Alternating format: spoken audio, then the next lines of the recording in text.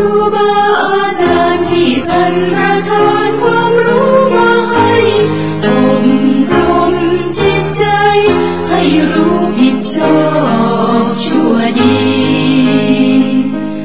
ก่อนจะนอนสวดนต์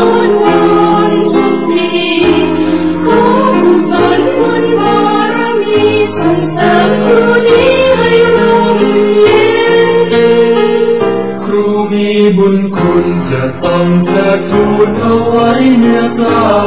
ท่านสั่งสอนเราอบรมให้เราไม่เว้นท่านอุทิศให้คิดถึงความยากเย็น สอนให้รู้จัก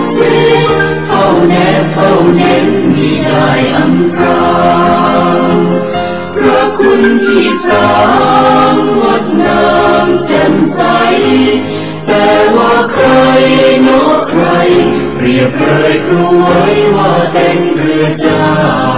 งถ้าหากจะคิดยิ่งคิดยิ่งเห็นว่าผิดทางมีใครไหนบ้างแนะนำแนวทางย่างครูบุญเคยทำมาตั้งแต่